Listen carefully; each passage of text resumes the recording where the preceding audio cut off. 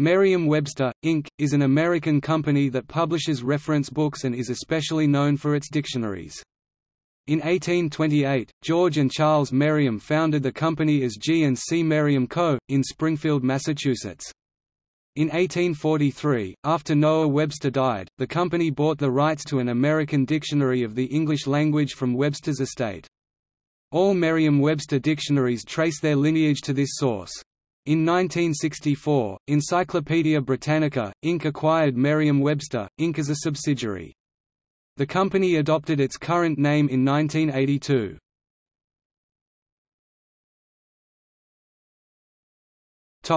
Origins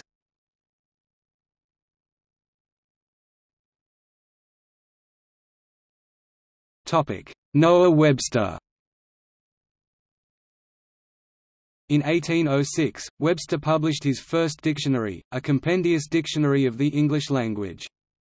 In 1807 Webster started two decades of intensive work to expand his publication into a fully comprehensive dictionary, an American dictionary of the English language.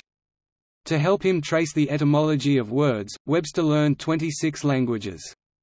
Webster hoped to standardize American speech, since Americans in different parts of the country used somewhat different vocabularies and spelled, pronounced, and used words differently.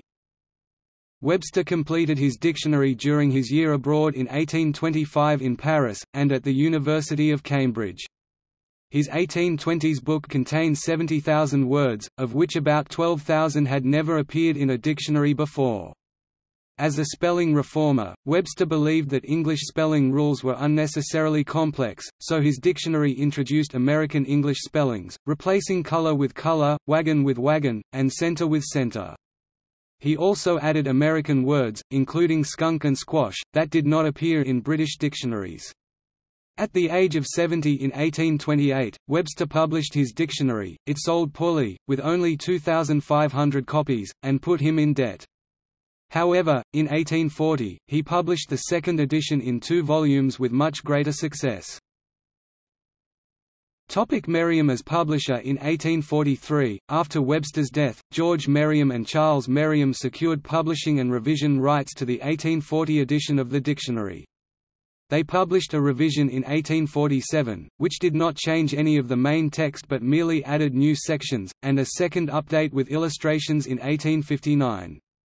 In 1864, Merriam published a greatly expanded edition, which was the first version to change Webster's text, largely overhauling his work yet retaining many of his definitions and the title An American Dictionary.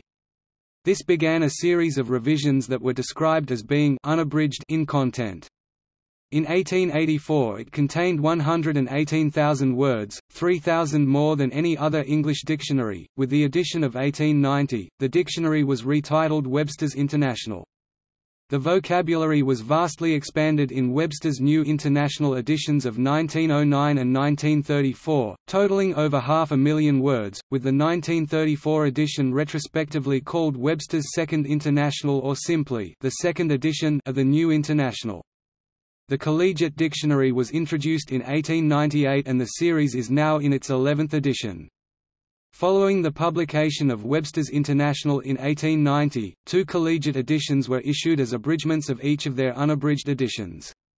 With the ninth edition Webster's Ninth New Collegiate Dictionary WNNCD, published in 1983, the collegiate adopted changes which distinguish it as a separate entity rather than merely an abridgment of the Third New International the main text of which has remained virtually unrevised since 1961.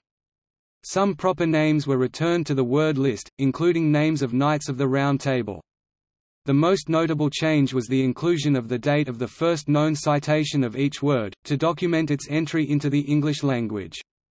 The 11th edition published in 2003 includes more than 225,000 definitions, and more than 165,000 entries.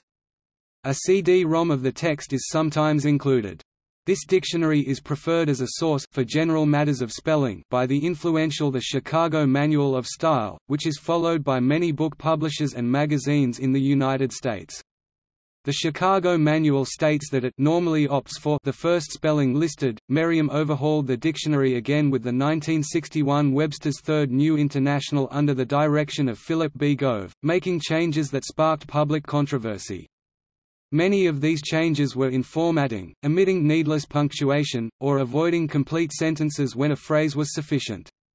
Others, more controversial, signaled a shift from linguistic prescriptivism and towards describing American English as it was used at that time. Since the 1940s, the company has added many specialized dictionaries, language aids, and other references to its repertoire. The G&C Merriam Company lost its right to exclusive use of the name Webster after a series of lawsuits placed that name in public domain. Its name was changed to Merriam-Webster, Incorporated, with the publication of Webster's Ninth New Collegiate Dictionary in 1983. Previous publications had used a Merriam-Webster dictionary as a subtitle for many years and will be found on older editions. The company has been a subsidiary of Encyclopædia Britannica, Inc. since 1964.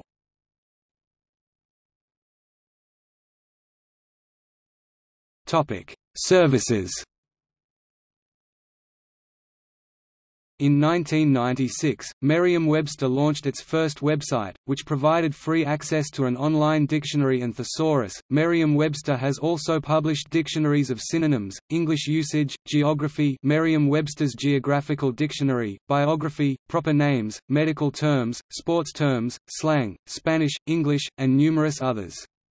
Non-dictionary publications include Collegiate Thesaurus, Secretarial Handbook, Manual for Writers and Editors, Collegiate Encyclopedia, Encyclopedia of Literature, and Encyclopedia of World Religions.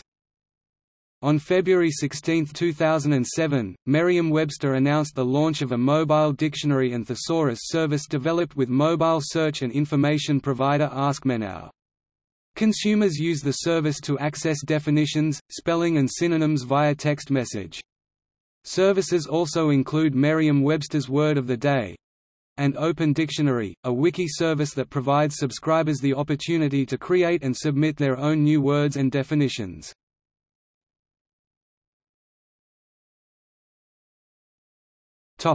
Pronunciation guides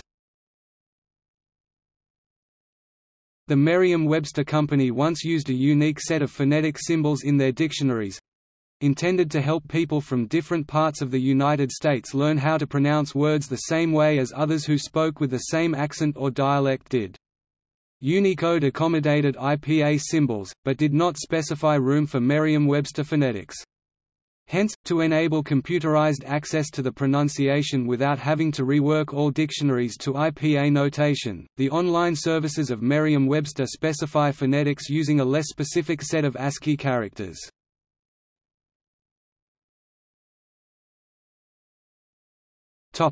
Writing entries Merriam creates entries by finding uses of a particular word in print and recording them in a database of citations. Editors at Merriam spend about an hour a day looking at print sources, from books and newspapers to less formal publications, like advertisements and product packaging, to study the uses of individual words and choose things that should be preserved in the citation file. Merriam-Webster's citation file contains more than 16 million entries documenting individual uses of words. Millions of these citations are recorded on 3x5 cards in their paper citation files.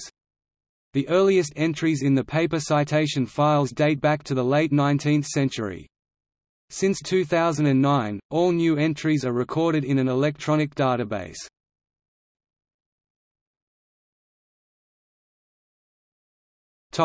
See also Webster's Dictionary Bilingual Dictionary. Encyclopædia Britannica Ultimate Reference Suite, includes Merriam-Webster. Lists of Merriam-Webster's Words of the Year